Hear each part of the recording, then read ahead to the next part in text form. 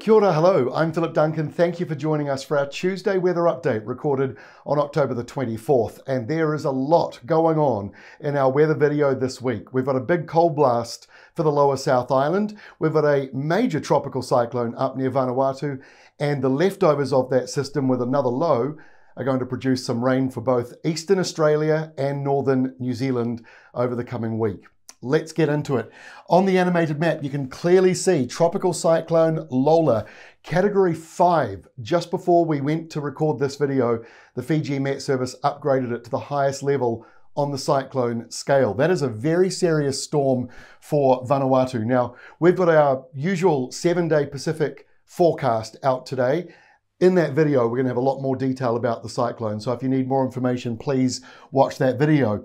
At the moment, high pressure just to the northeast of New Zealand, encouraging a mild airflow. It's going to get pretty warm around New Zealand for the next day or two, and that's ahead of a wintry blast coming into the south. And speaking of wintry blasts, here is one of them there for Australia, coming into Adelaide and over the next day or so into Victoria, Tasmania, the ACT. All right, lots to talk about. So let's get into the tracking. As I just said, as we just before we went to air, category five upgraded, and the Fiji Met Service expecting it to be that as it comes in tonight.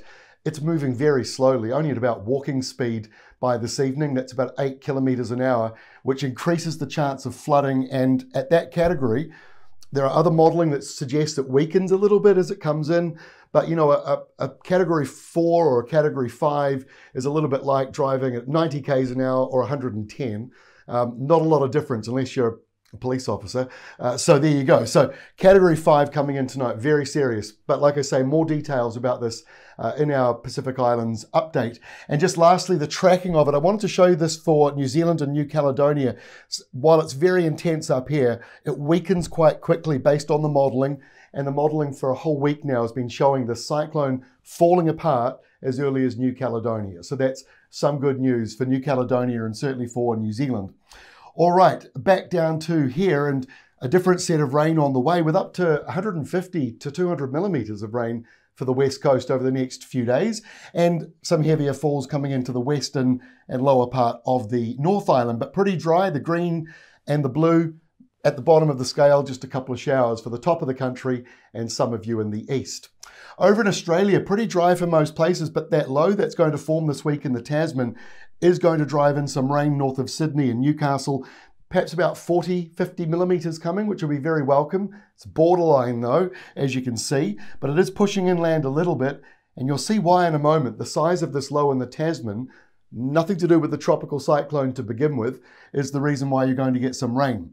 And the departure from normal temperatures for New Zealand today showing the lower South Island much warmer than average, more than 8 degrees above normal. Most of the North Island's about where they should be, but the South Island warmer than usual. And in spring, that's usually a sign that something's on the way, something's coming. Uh, and it is. We've got this wintry change arriving Thursday, Friday. And just before we show you that, the temperature maps from Australia, these are not departure from normal, these are just the actual temperature maps. 40 degrees in the red, so very hot now uh, across the top half of Australia. Quite a different story in the lower half with those southerlies. So here we are for Wednesday. All right, let's make sense of everything going on. There's a lot happening. We've got the storm up here. Now, the uh, box you see that shows what they call the cone of uncertainty, where it could track is quite short. So while this is a major storm, I'm pretty sure this is a record-breaking storm for this early in the season. We have had, you know, um, tropical cyclones as early as September. Don't think we've seen a Category 5, but I, am stand to be corrected on that one. But major storm up here, but it's short-lived because it's cold. Sea conditions are not very good once you get to about New, New Caledonia. And, you know, we're still only just coming out of winter, so sea surface conditions are pretty cool. So the storm's only going to really make it to about as far south as there. Gabrielle, on the other hand, was all the way down to New Zealand. So this is not another Gabrielle, even though it is uh, very intense for Vanuatu. It's a serious storm for them. Southerly winds coming in. Adelaide to Melbourne to Hobart, your temperatures are dropping on Wednesday. And on Thursday, the colder air comes all the way up Canberra, Sydney, Newcastle, Port Macquarie, Grafton, all the way up towards Queensland. You'll notice that temperature drop. Uh, but look at this big change coming through. So New Zealand's warm again on Thursday, but by maybe lunchtime, that temperature starts to drop in Southland ahead of a wintry change coming in. So mild at the top of New Zealand, colder the southern end of New Zealand. And on Friday, colder still. We're seeing uh, some data in our rural weather forecast showing snow flurries around inland parts of Southland uh, and maybe around coastal parts of Otago. So, wintry weather for Thursday night and Friday morning. You can check out rural weather for more information on that one. And then you've got this low up here. That's the reason we're seeing rain from Brisbane to Sydney on Friday. But look what happens on Saturday. That's when you start to get some of the leftovers of the tropical cyclone feeding in and creating kind of a new system. So that is going to drift further off away from Australia. So you've got a little bit of wet weather there, but not a huge amount. And in New Zealand, still colder on Saturday with the high parked out to our west and most places getting that southerly flow. So Sunday, the low here parked right over Norfolk Island. That's exactly what Cyclone Gabrielle did, but this is not a cyclone.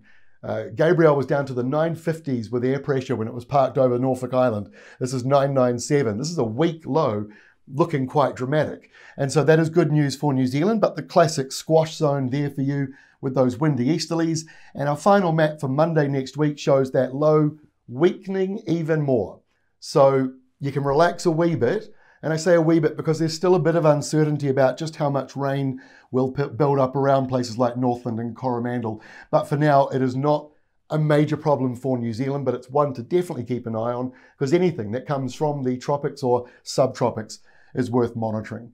So there we go. That is the forecast for New Zealand through till Monday of next week. A lot happening. Our Pacific Islands seven day forecast also out today that has much more detail about the cyclone and the tracking into Norfolk Island and potentially New Zealand. Well, the leftovers of it anyway.